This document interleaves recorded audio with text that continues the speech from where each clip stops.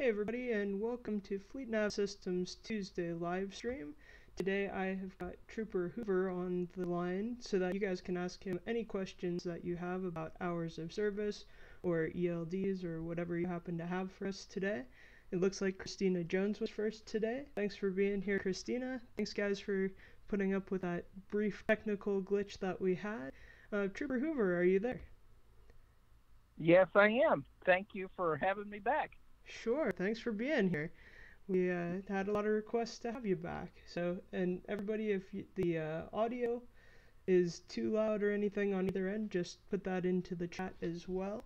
Um, so, Trooper Hoover, before we get started, I just wanted to let everybody else in the chat know that uh, you guys, while you're watching this live, if you have any questions for us um, about any hours of service stuff, please put them into the chat that's what it's there for. I'm happy to ask Trooper Hoover any of these questions that you've got.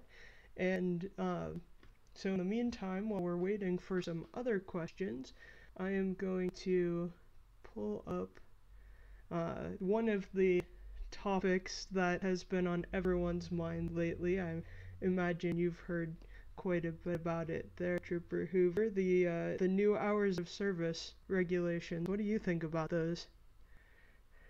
Well, um, you, you are correct, and I believe it was May. Uh, they basically introduced the verbiage and said after so many days they'll go into play, and I believe that's September 29th, isn't it? Mm-hmm. I don't have it right here, but basically September's when it's coming.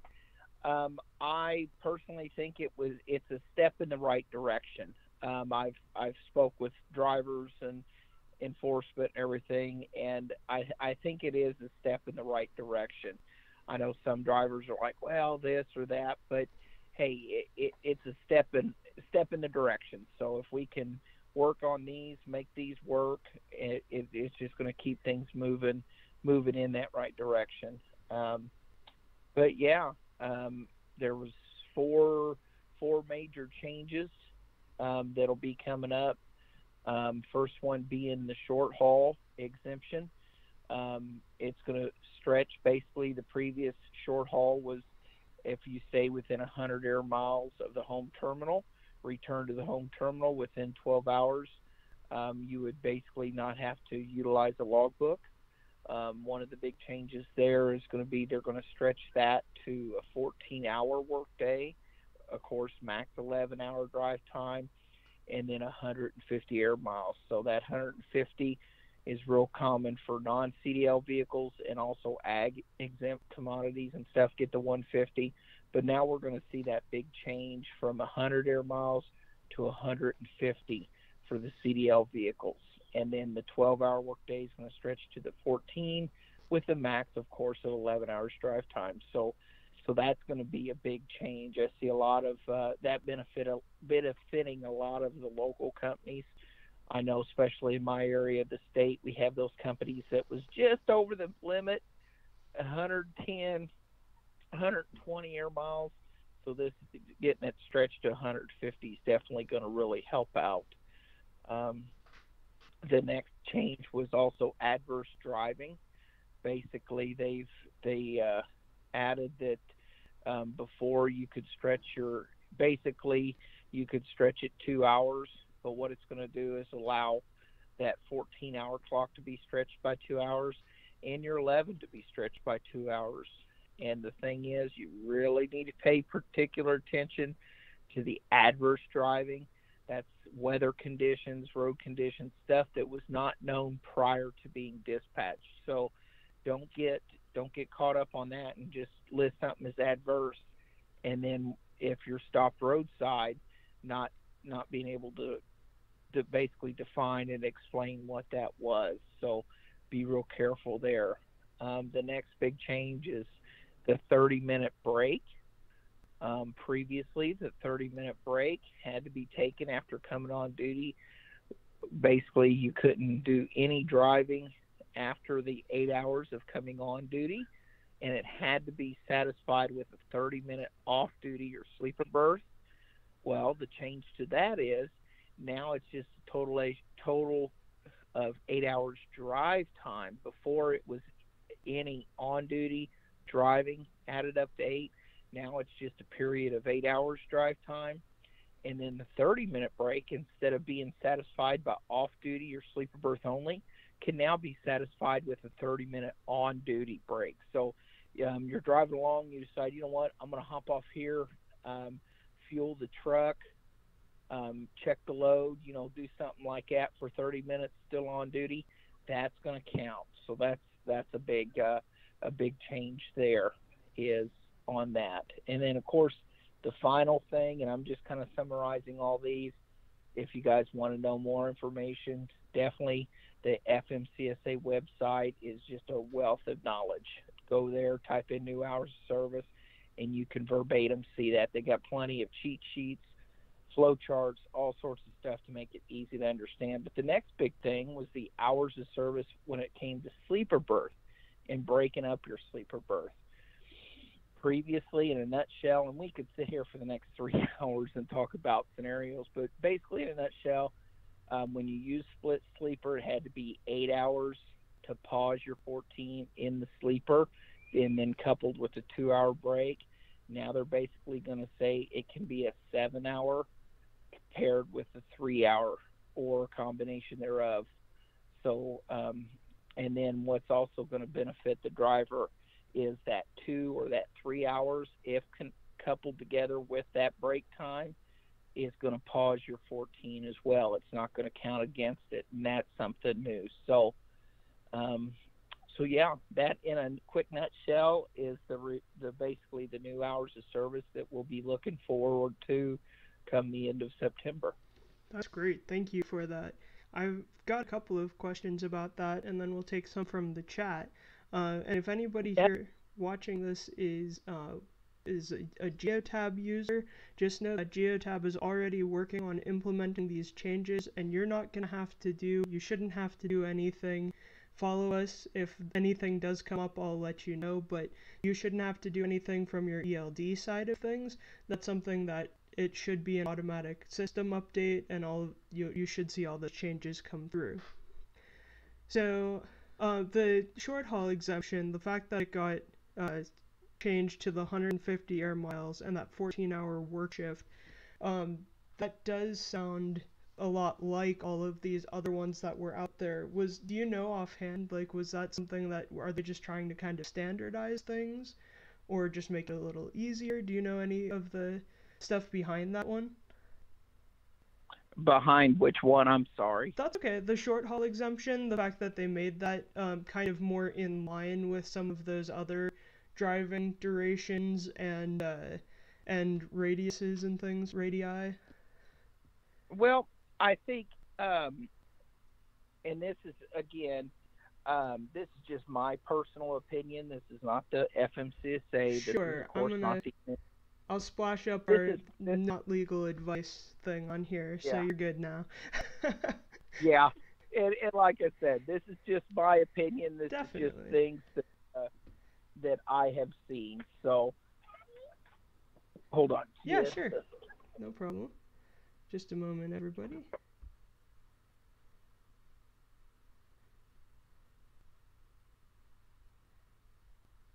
We'll be right back. Just a second and the kids, and I got one that doesn't like dark clouds and thunderstorms, so she had to get a weather. So, no, no but problem. no, um, and and this is one of those things. I think what they did was they had non CDLs, they had ag exemptions, getting all these 150 air mile radiuses, and I think they just kind of looked at the data and was like, you know what, we can tie in these other classifications of carriers and give them the same benefits. So.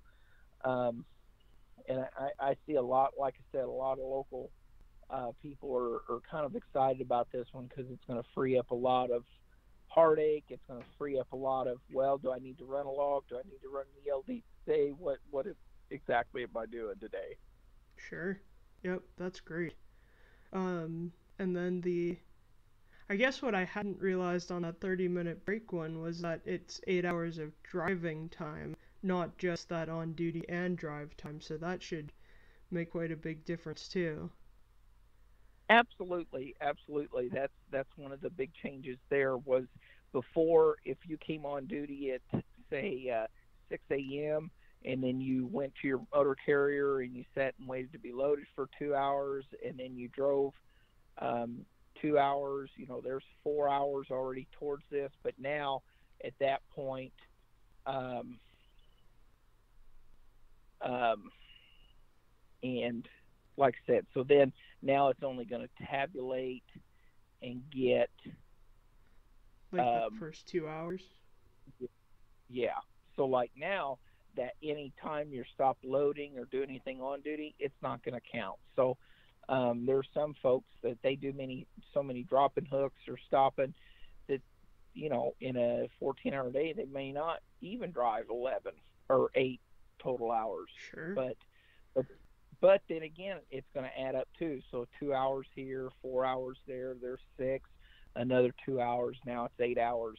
But that on duty time is going to count towards your 30 minute break. So really, if you're breaking it up and you don't have any blocks of eight hours, you may not need to technically take a 30 minute break. So now instead of only having that 13 and a half hour, now you got your full 14 hours of Yeah. working you can play do. Okay, yep, that makes a lot of sense too. Um, going back to the second point about that adverse driving conditions when um, now there were now from what I understand there already was an adverse driving conditions exemption. Is that true? That is correct. That is correct. And what it did was, say, um, say I left Terre Haute, Indiana, Mhm. and I was driving to um, Holland, Michigan, um, and and let's just say, and I'm sure somebody will be out there and go, oh, well, technically that's nine and a half hours, but let's just say. Um, let's just say I look at my map and I go, you know what, I can do that in a, 10 and a half hours of drive time, which means I'm under on my 11 and I'm under on my 14. Well, say I get up into Michigan and all of a sudden there's one of those freak whiteout conditions and it takes me an extra, you know, two hours. Well, before I could stretch my two hours if I had the time. And that was if you had the time, you could stretch it um, but you could not exceed your 14. Well, now what it's saying is you could stretch your 11 and you can stretch your 14 within that that time frame. Now that doesn't mean that if say the road stoppage was only 30 minutes, it doesn't mean you get an extra hour and a half to advance. It just means that basically if you could have completed that in your 2-hour time or you need to find somewhere safe to park, you've got that allotted time worked in. So just and then again, it's got to be something that um, wasn't known to your dispatch, wasn't known to you. Like I said, a a freak uh, a freak whiteout. Um, Sure. Like in my area today, we're we're under uh, potential for some uh, thunder showers. Well, yeah, it could be thunder showers, but we all know Midwest, late summer, all of a sudden a rainstorm could pop up and roads are flooded for a half hour, 45 minutes that nobody knew was going to happen. Something like that. hmm Or worse, a bad traffic crash. You got and the best thing to do is if you're going to utilize this exemption is document, document, document. One, because if you get stopped within a week later, it's going to show on your logs. And if you've got a big block of time with no justification, that's going to look really bad and be really hard to explain. But if you've got a traffic crash, I 80, such and such mile marker, you know, that's information that we could research. Or if the company's ever audited, that type of information is going to be easily easily researched and verified. So so make it easy on yourself, make it or on that inspector.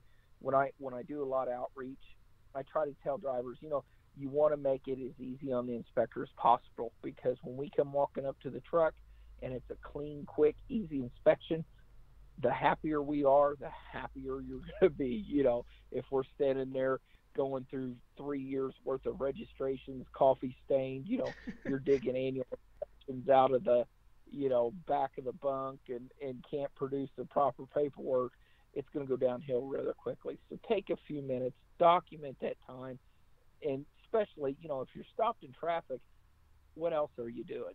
Get on Sure. your device, annotate, document it, and that you know that'll help you out in that long run. What what would you say the percentage of uh like violations and things could be avoided if people just annotated properly? Um, when it comes to logbooks, um, and with everything, I, I I wouldn't know the national, but just me personally, just Sure. in just- the re- with with the recent guess, I would say at least you know a third to half of the violations are just general form and manner, which includes not annotating, not doing this, um, and and especially when you talk of, and we could talk for next six hours on personal conveyance, but personal conveyance is another big one. You need to document what you're doing and what you're using that for. And if you've got any questions on personal conveyance, and I suggest this to every every driver, is go to the FMCSA website, type in personal conveyance. They have an awesome section, and it talks. It basically defines personal conveyance, and then what it does, it gives you examples of acceptable personal conveyance, and then it gives you examples of not acceptable personal conveyance. Because the better you track that, you're really going to avoid issues of false logs, stuff like that, where annotating can't help you. You know, so Sure. so definitely take that time, um, type in those notes. It's really, really going to help you in the long run. That's great. Thank you. Uh, Christina Jones has a question for us in the chat. She asks, "What's the law about CDL and farming in Indiana?" And that's all the context I have. So I don't know if you need any clarification or if that's good for you there. Well, usually when when you get a roadside inspector in Indiana and they they stop a farmer, it's usually ugh. just because all the exemptions. So basically, what it is, um, if I Brent Hoover own Brent Hoover Farms and I farm 500 acres Mhm. and I own a brand new Peterbilt and a brand new Wilson hopper bottom if it's all registered and I'm using it on the farm hauling my own product, quote unquote own product, Mm-hmm. I do not need a CDL to do that. Now, if I, Brent Hoover, the farmer, hire Billy Bob to come and be a farmhand on my farm and he's hauling my grain, Mm-hmm. he's also exempt from CDL. But if I, Brent Hoover, with my brand new Peterbilt truck and and the hopper bottom, you call me up as a neighbor and say, "Hey, my uh, my truck broke down. Can you come over here and haul my grain for me, and I'll I'll refund you some money for fuel and stuff." And if I say sure, well, now I'm outside the scope of that exemption. Now whoever's operating my truck's going to need CDLs, portion plates. They're going to need the whole gamut. So um, the big thing is when it comes to Indiana, you've got to haul your own product with your own equipment. So you you start stepping outside of that line, that's where it gets real gray area and and gets to be a big a big headache. So hopefully that kind of that's kind of in a nutshell everything to do with Indiana CDL and all of that. Sure. Is is that only on your property, or can you, if you're hauling your own product, can you go beyond that? you can go beyond that. So, like, say I haul it off my farm to the grain bins, uh, mill or whatever. I that's still legit. That's still legit. Okay. Or say I have cows and I'm going to go to somewhere to pick up feed or something for my animals or for farm use. I can drive that vehicle with no CDL as long as it's utilized for the farm in that capacity. So again, say it's one of those deals. Um, you're you're my neighbor, and you're like, hey, since you're already running 20 miles to town, can you basically backhaul something for me? Um, nope, it's got to be your product, Okay. your product. Huh. So, and that's why you see a lot of lot of big farms. They will go ahead and get their farmhands CDLs. They will go ahead and get apportion plates, DOT numbers, fuel taxes. They'll go ahead and get that stuff and then utilize that as an additional revenue maker, and that's just fine. but they got to realize, you know, if you got to be real careful, and if there would be an accident and it comes down to they find out, insurance company lawyers they find out that that is not your product, oh boy. So I'm not just saying that to be picky or just to be a jerk. You know, I'm also thinking about, you know, my neighbors. In fact, when I was at the tire store today getting tires on my personal pickup, I was talking with the farmer, and he's like, "Are you going to be mean to us this year?" And I'm like, "I'm never mean to you guys. Come on, I try to watch out for you." But sure. but that's that's the big thing is just kind of, you know, make sure it's your own commodity with your own equipment, your own employees, and if you basically fall within that, then you're fine. See, and now I've learned something new today because I didn't realize there was there was a different sort of exemption for farming in Indiana. So cool. Yeah, and then stuff. a lot of and, and I'm just quoting Indiana because that's what I know Sure. through and through. Other states, um, there's a lot of federal exemptions on that. So other states kind of have similar similar things like that as well. But for verbatim, that's this that's what Indiana looks at and how we how we basically apply the laws to that. Nice. That's really neat. Uh, the other one that I've got on the queue to ask you about is the uh, the inspection week coming up. Are you guys doing that as well? Yes, um, and basically, I over the last few years that I've been doing social media, Mhm. I try to tell everybody, calm down. it's nothing to be worried about. Basically, us as inspectors, we're not calling out the reserves, and everybody that's got a soap zone and a sweeper's not running around doing that. Basically, all that is is at the end of the week, the state collects the data and submits that to the feds.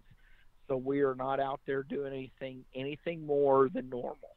So in a normal week, say an inspector at a scale house may inspect 40 trucks.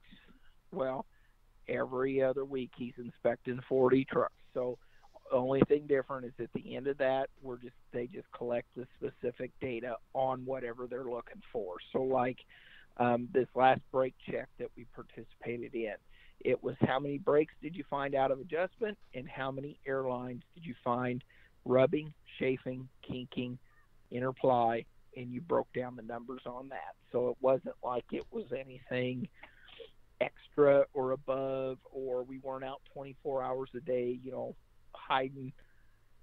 It was just normal everyday business. And the only thing is at the end of the day we collect the numbers different. So on on who did what and who found what. So Well, I'm glad to hear it. So really- yeah, I always get every year drivers. Well, that's the week I'm going to take off. Right, that's the week I'm going to.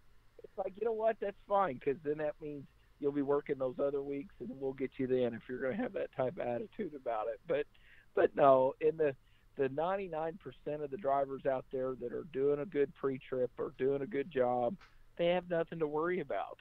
So, um, but yeah, Good. Now, I know each year they do some kind of a different emphasis, um, and I've I've got an article from the CVSA up here right now in front of me that says that the this year's focus is on driver requirements component of roadside inspection. Can you give us a little more information on that? Absolutely. So what that basically means is a full complete level one inspection has like 36 different steps that we follow. Mhm. Well, about the and I mean they've even got a step for step one: find a safe location for inspection. That which that's kind of like, uh, that's common sense, but it they've listed it as a step. So um, basically, steps like five through whatever is we first and foremost we get the driver's license, and we're checking that one is it valid, Mhm. two does it have the right endorsement or CDL. So are they driving a straight truck that requires a B CDL, and they've got a B or an A? Yep. Or are they driving a semi tractor that requires a Class A and they have just a B? Or even here in the state of Indiana, we have that that gap between 16,001 and 26,000 that's a for hire endorsement. So basically, you're utilizing a vehicle for a commercial purpose.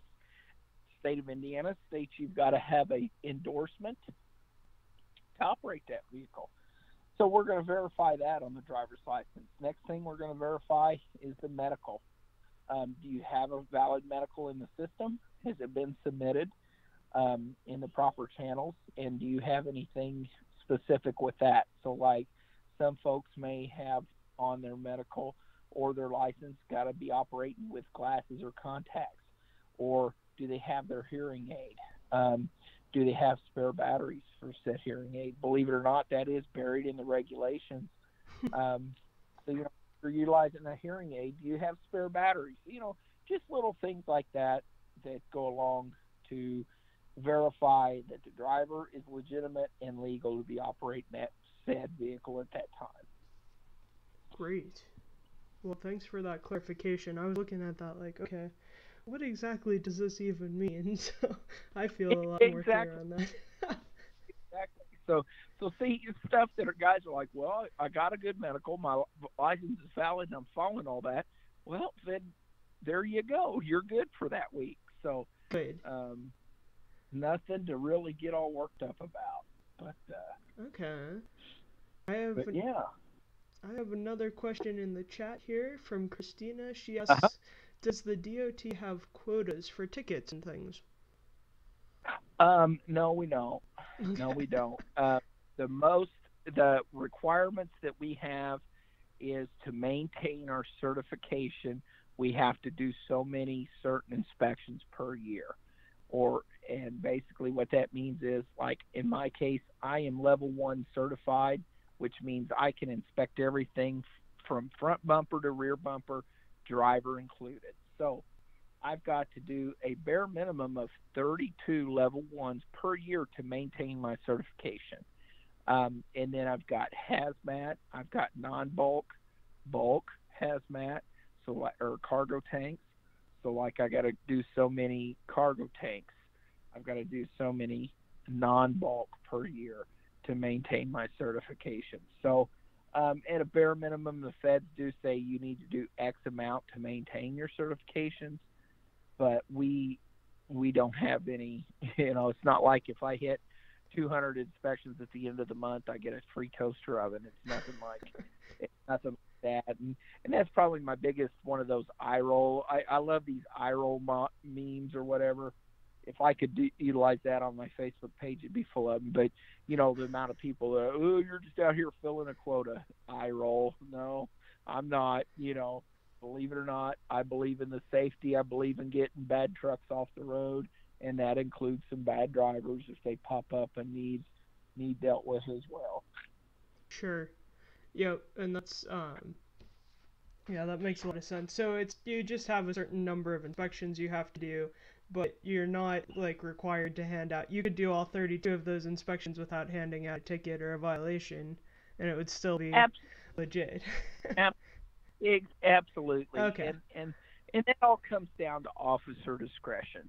Um, a lot of this, when it comes to a ticket versus a warning, ninety percent of it's officer discretion. But there are a few things that I'm sorry, you're getting a ticket. You know, if a driver's suspended, you're getting a ticket. If your driver, you know, and we're real strict on drivers stuff.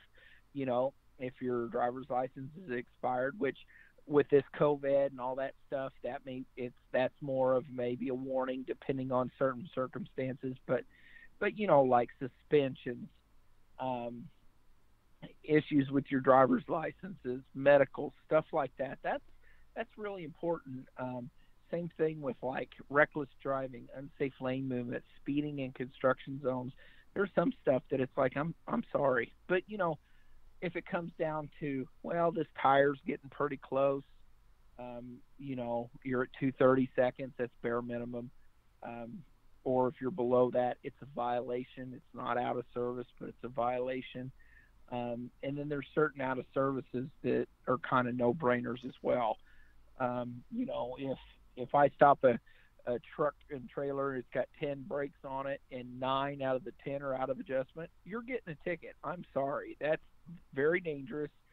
And you know so and and a lot of us will try to maybe you know cite something that's non-moving versus moving less points on your driver's license stuff like that. But at the end of the day there's some stuff i'm sorry if you get caught you you know you go to you go to the corner and you get a ticket. But a lot of the stuff you know a couple airlines rubbing under you know is it a violation? Yes. Does it need necessarily a ticket? No. Um, so and I'm, you know, the vast majority of trucks that stop, drivers are good, logbooks are good, hours of service good, vehicle registration, insurance, all that stuff's good, and it's just a little bit of reflective tape is peeling off the trailer. That's something. Hey, hey, bud, just when you get back, throw some more on here. Leave it as a verbal. Don't worry about it. So, like sure. I said, there's a full spectrum of what we can do. Officer discretion plays a big part, but you know, then again, some agencies can say on this violation, if you find it, you write it. So, um, just because I say here's my personal opinion on it doesn't mean that that officer in another state is going to follow that same same guide or rule or whatever. So just okay. always keep that in mind. And and roadside's never a place to argue about it. If you've got questions, if you've got you know you're scratching your head and don't understand something, the tickets, the inspections have plenty of phone numbers on them. Call and ask, you know, or depending on how the situation's going, ask if you don't understand something. Say, hey, can you explain to me, you know, this this regulation? I, I don't quite understand it, but you know, having a little bit of common sense roadside goes a long way, um, and and driver attitude goes a long way. Um, and I'm not saying that officers all have perfect attitudes, but then again, I try to approach every stop the same. I approach it the same attitude. And if I get a driver that's being a little grumpy that day, I, hey, bud, this can go positive or it can go negative. You know, sure. I'm going to let you reset. You decide. So um, just kind of have a little common courtesy both sides, and nine times out of ten, it pays off for the better. Good. So, Cool. Um, so the next one we have, and thanks for that insight there, Trooper Hoover. I think that's really good information to know. Uh, the next one we have is Steven is in the chat and he asks why the push for non-challengeable warnings versus tickets. Okay, so th- what this is, any violation that's written you can data challenge that violation if you so desire. Um, basically, truck stop rumor was that the reason uh, inspectors were writing warnings versus tickets was because they had heard that if you get a ticket dismissed or if you fight it in court and get it dismissed, then the violation will disappear. That's not entirely true. Now, if a judge or a court dismisses it or plays it off to something else, the feds say that's fine and dandy, but they will lower the class of violation and make it less of an impact, but it will not totally disappear because the whole focus of this and these eh, violations and these inspections is the safety aspect of it.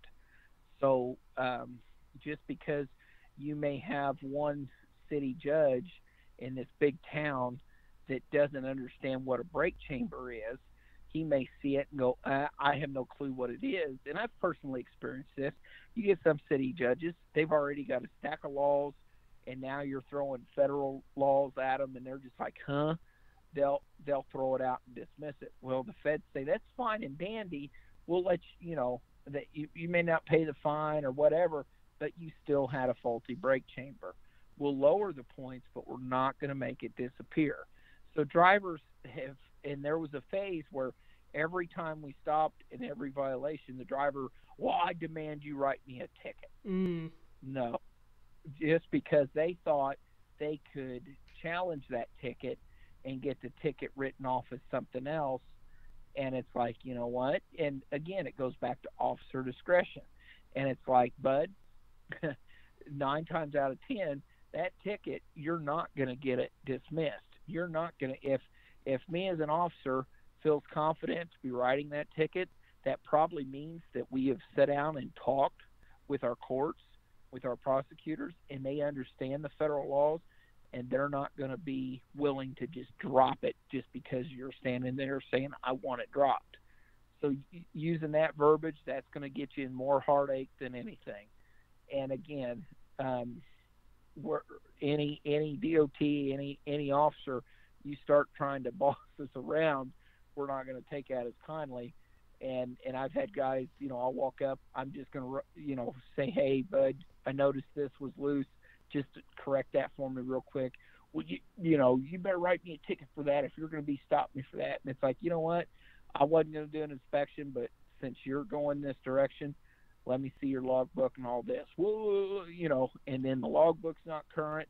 They're licensing, you know, this, and then 20 violations later, an additional, you know, all this heartache over running their mouth. So, again, that rumor of, well, you know, a ticket you could fight and get dismissed and get it knocked off your record, that's not entirely true. That's not something that um, is going to be, you know, just one of those. Oh well, you, you know, you got it dropped. Okay, it'll disappear. The Fed just come in and they said, no, that's not the way we're going to run this program. It's going to be like this. So, so, and again, the reason we're writing warnings is um, a lot of times on these roadside stops, these violations, um, you know, if I write a ticket, that's another hundred and fifty dollars out of that driver's pocket, the company's pocket. I would much rather he take that hundred fifty bucks, put it back into brakes, zip ties, spare lights, stuff like that. His family, you know. So our way of write a warning is, at, I mean, a warning. No, no fine, nothing like that.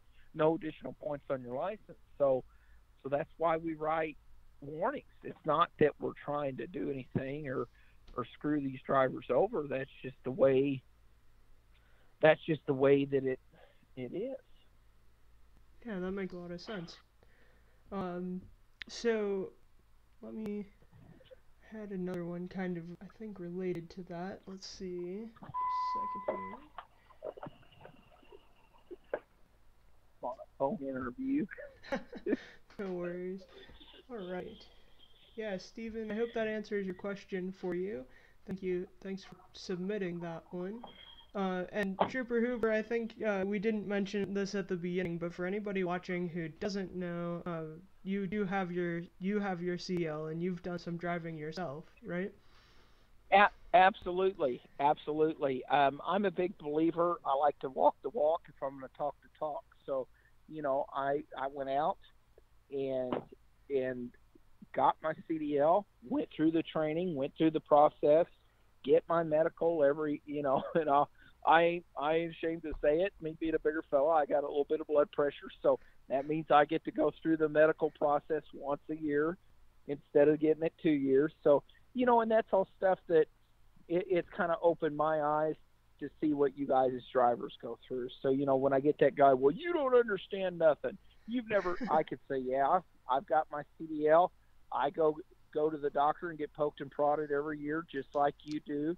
You know, I try to do this to better myself and make it, you know, where I can understand it better. So, so you know, and that's just hopefully that shows these drivers and everybody that's listening just how passionate I am about this, and that I'm not trying to be one of those one of many that's just doing something you know, or just writing a violation that don't understand what, you know, why I'm writing it or the meaning behind that. Sure. So.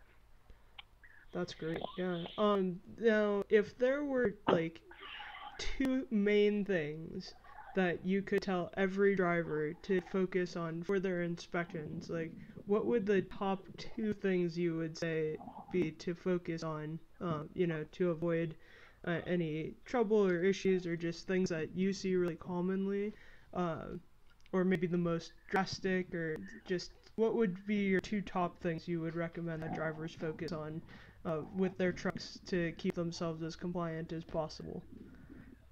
Well, um, one of first and foremost, and I'll, I'm going to list three things. So, Sure. I'll add one more to that. But first and foremost is have a good attitude.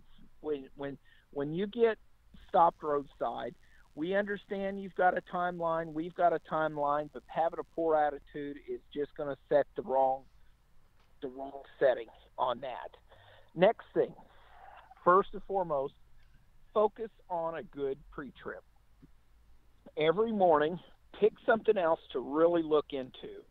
Um, you know, if really take that morning and look at all your tires, look at your tread depth, get you a, a satchel, have a tire depth gauge, have an air pressure gauge, have you know different tools and knickknacks, flashlight, gloves, tire thumper, have that stuff and utilize it because more so than not, to me, 90% of these violations that I find roadside, I am walking around the truck. I am not on a creeper. I'm not up on a ladder. I'm not in a pit. I am walking around the truck. And like I told a driver last week, if my big butt can get out of the car, come up, bend over, and see that bad brake chamber, you have no excuse. And and a lot of this stuff that we find, and I'm not denying that things break. I'm not de- denying that in the last two miles you picked up a screw and you got a flat tire. I'm not denying that that stuff doesn't happen, but the stuff I'm finding is is broken and it has been broken, and that leads me into my favoriteest thing ever. And I'm sure somebody goes, "His favoriteest a word?" I'm Southern Indiana redneck, so yep, favoriteest is a word. So my favoriteest thing is look for dry powdery rust.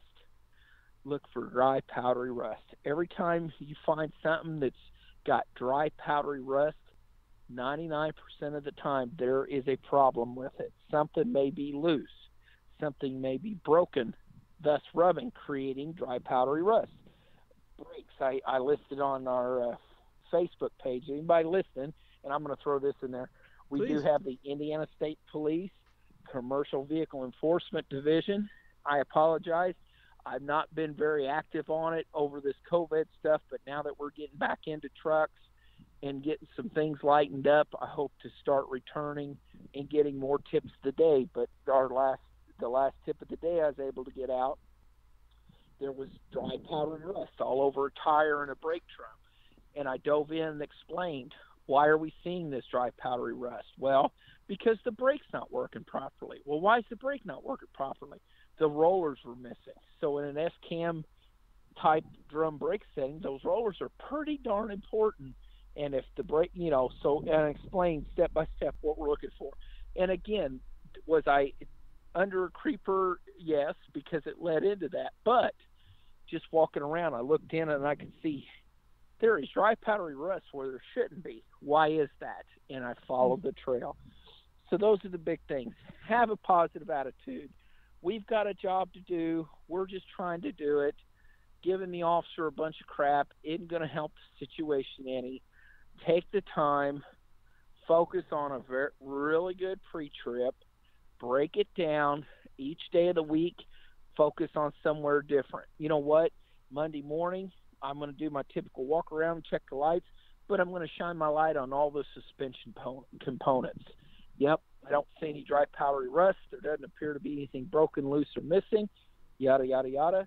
And then the next day, you know what? I'm going to really focus on really checking around my fifth wheel, my kingpin, all that good stuff. You know, and and break it down because, um, you know, just taking once a week and just looking, you'd you'd be surprised. And in fact, you know, um, just since I, I again talked about dry powder rust, I get once or twice a week guys will send me a picture and go, "Oh man, I found dry powder rust, and look, I found I found a broken leaf spring, or I found this broken, or I found this bolt loose, or, hmm. or look, I found this." So it it shows that hey, take that time, take a few minutes, focus on that, and that's really going to help these drivers and realize. And you know what? If you get and I and I've seen some inspectors they're grumpy. They're not that, you know, you tell uh, they don't really want to strike up a conversation, but try it sometime. Um, just say, hey, you know, what area are you looking? Maybe I can learn some way to improve my safety, you know, my pre trip, or if you get a guy that's a little more friendly like I am, I love it when drivers say, "Hey, uh, you know, what what exactly are you looking at, or what, where are you looking?" You know, I'm gonna invite. I personally invite them back. Come on back here. Let me show you this, or let me show you that. Look at this. Look at that. And never assume that your brand new 2021 tractor and 2021 trailer is is perfect because it's it's not. And I, I always love that when I get it. I stop a truck and the driver's like, "Why are you stopping me? It's a brand new truck." All I hear is challenge accepted. challenge accepted because he's already said it's a brand new truck, aka I haven't looked at crap. Mm. So that means I'm going to find something wrong. And and it's like you know you can find something wrong on anything. So so don't you know don't assume that just because it's brand new. And again, you send it in for service. Look it over good. Did they did they put the brake drum back on? Did they put the rollers back? You know, don't assume that everything was put back 100%. You need to do your job, and it's up to you to do the inspection, the pre-trip, and verify and document if you find something wrong. So, Sure. so I'll kind of get off my soapbox there, but No, that's, That's- some good that's information. my favorite thing. Favorite thing to preach about is focus on a good pre-trip inspection. Great. So, when you were doing the driving, do you did you learn anything in particular that you found useful, you know, to help you both as an inspector and as a driver when you were doing that side of it, and like when you were inspected or anything? Um, I I don't want to sound not not necessarily just because what I was doing is is part of my job was a lot more in depth. Mhm. Um, I did I did accidentally slip out a few federal codes and made my CDL tester kind of look at me funny because I uh, when I was checking a tire, I said, "Well, according to 393.75, it's got to be this," and he kind of looked at me like, "Huh?" You know, where all he was looking for was it the tread was more than 430 seconds. But I said, "Well, according to 393.75, which is the tire part code, you know." And because because when I went, I did not let it slip who I was. I wore a dirty sweatshirt, dirty pair of, you know, I looked apart. I took a few days off, hadn't shaved, so I looked like just Joe Bob ready to get a CDL. So, but uh, yeah, a few times I did let it slip some codes, and he kind of looked at me funny. But I just said, well, I studied in depth or something, and he was like, oh, okay. But uh, but no, a lot of it is, um, and then it, it, and then again, it kind of kind of gave some examples. So like, you know, you get this guy, he's been driving for 20 years, and then you do something like checking the low air warning light or buzzer. Oh, well, I've never checked that. Well, it was it's required to be checked every time on your CDL test. Why, you know, or or you get that guy, that new driver. Oh, I've never heard of this. It's like it it's on your CDL test, you know. So don't you? Why aren't you doing that? So so that's something that another reason Yeah. I kind of like it is I can say, well, when I took the CDL test a year ago, this was required knowledge. So why aren't you doing it each and every day like you said you would be doing when you took the test? So, That's so that's something to think about Yeah. on there. Uh, Christina has another question here. She says, "What does one need to work in a scale?" Well, every state's going to be different. Um, some states they are civilian scale masters. Others, um, it just depends on what state. So, like here in the state of Indiana, are the folks that operate and run the scales are civilian motor carrier inspectors or MCIs, and basically um, they just go in if they valid Indiana driver's license, no criminal record. Um, and can bat, pass the fig- physical agility part of things. They basically go through the school and then they get certified when they initially come out to conduct truck inspections. And then they get assigned a certain area and then they're basically sent to that area and go through additional training at the home facility. And that's how you can become a MCI for the state of Indiana. Me, I'm a trooper that's assigned into the commercial motor vehicle division. So I'm basically a trooper with all the truck certification. So when I'm out and about, um, I can stop trucks for speed, for seat belts, for moving violations, in the full gamut.